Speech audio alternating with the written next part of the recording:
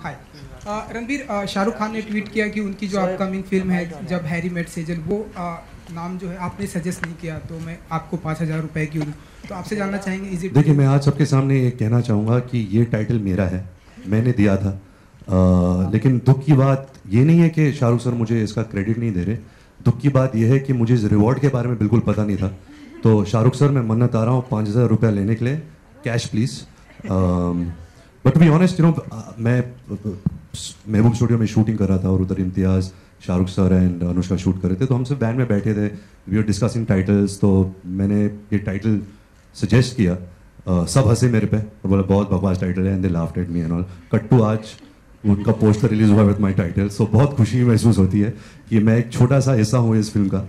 But to be honest it is by far the most exciting actor director duo for me to see Shahrukh sir and Imtiaz together was my dream as a as a fan as an audience. Uh, you know Imtiaz sir is coming back with Pritam also in this film.